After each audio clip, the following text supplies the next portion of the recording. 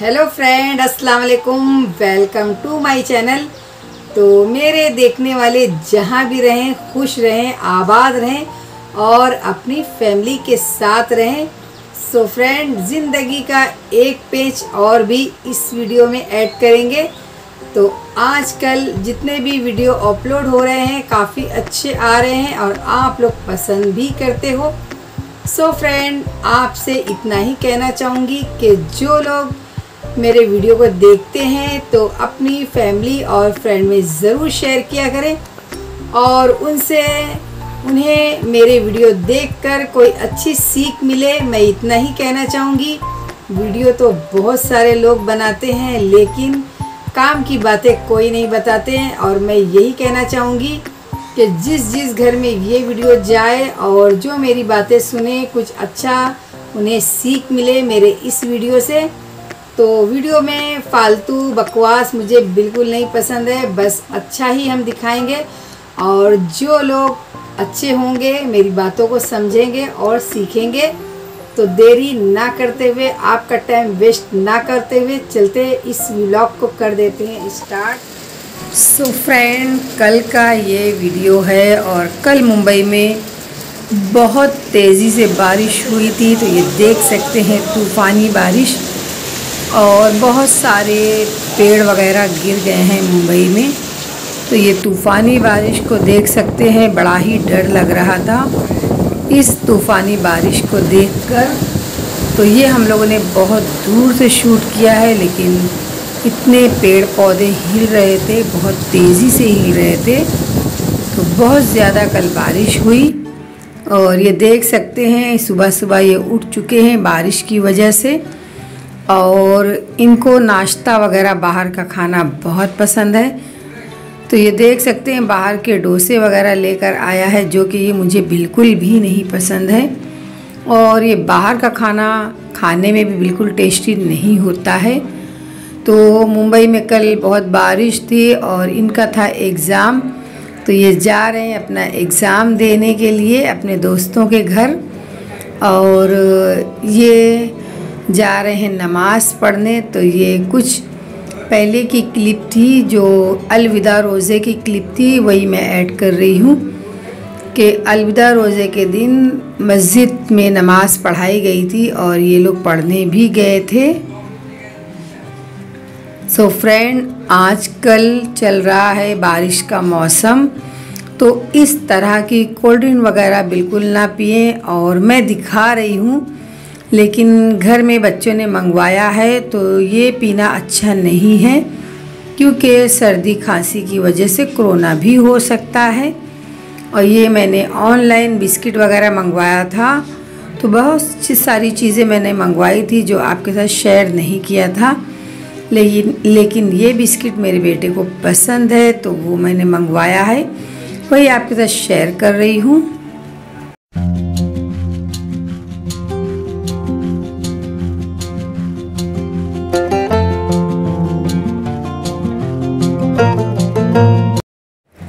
Friend ये दही वड़े हैं।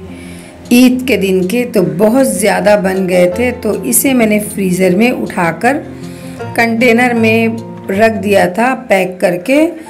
और मैं बताऊँगी कि ये दही वड़े आप कैसे बना सकते सबसे पहले मैंने पानी में बॉईल कर लिया है दही वड़ों को।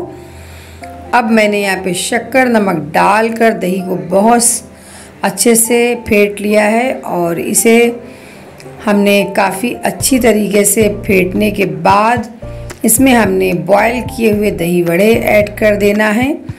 तो दही वड़े जो बहुत सॉफ्ट हो जाते हैं इस तरीके से, आप चाहे पंद्रह दिन रख कर भी ये दही वड़े बना सकते हैं। तो अब हम इसे सर्व करेंगे। तो इस तरह से दही वड़े ख़राब नहीं होते हैं, पंद्रह दिन तक भी फ्रेश रहते हैं।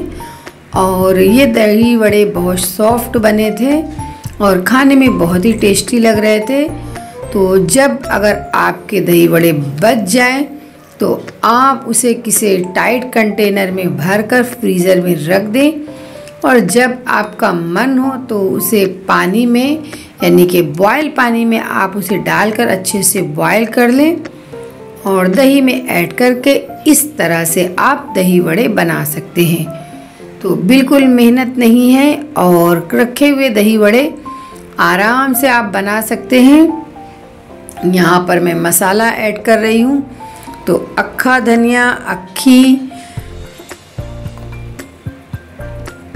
अक्खी मिर्च और ज़ीरा, इसे मैंने भून लिया था और इसे मैंने बारीक पीस कर अब मैं इसमें दही बड़े में ऐड कर रही हूँ।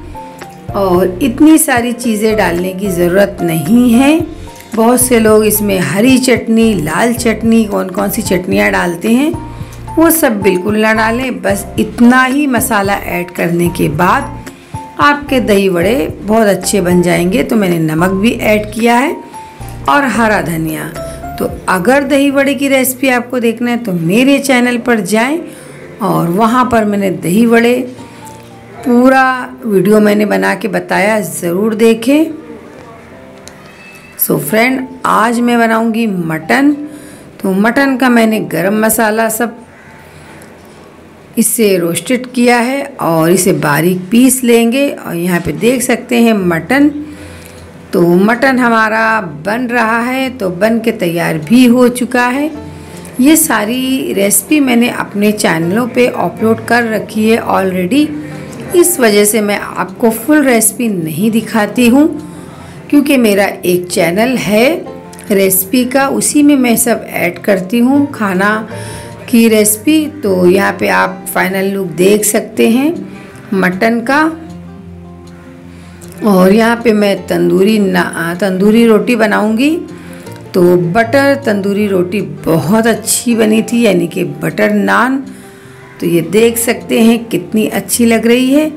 और हम लोग बाहर से भी बटर नान मंगाते हैं तो इतनी अच्छी नहीं बनती है। जितनी अच्छी ये मेरे घर में बनी थी और बहुत ही मज़ेदार। तो ये देख सकते हैं मेरी बटर नान बन के हो चुकी है तैयार। ये भी देख सकते हैं कि मैंने इसमें बहुत अच्छे से बटर लगा दिया है और ये खाने में बहुत ही मज़ेदार लगी थी। आप किसी भी सालन के साथ खा सकते हैं और आज हम गए थे मार्केट। तो मैं नहीं गई थी, मेरा बेटा मार्केट गया था तो ये सब लेकर आया है सामान तो ये फ्रूट्स, वेजिटेबल तो इस तरह से बच्चों से भी हमें कभी कभी काम करवा लेना चाहिए, क्योंकि बच्चे जब बड़े हो जाएँ, काम पर ज़रूर लगाएँ आप। तो पसंद आए लाइक ज़रूर करना। तो फ्रेंड आपको मेरा ये व्लॉग लगा कैसा व्लॉग पसंद आए तो चैनल को सब्सक्राइब करना बिल्कुल ना भूलें और बेल आइकन ज़रूर क्लिक किया करें ताकि आने वाली वीडियो का नोटिफिकेशन सबसे पहले आप तक पहुँचे और ऑल पर ज़रूर क्लिक किया करें ताकि कोई लेटेस्ट वीडियो आपसे बिल्कुल भी मिस ना हो। तो चलिए मिलते हैं एक नए फ्रेश ब्लॉग के साथ। तब तक के लिए अल्लाह हाफिज टेक केयर बाय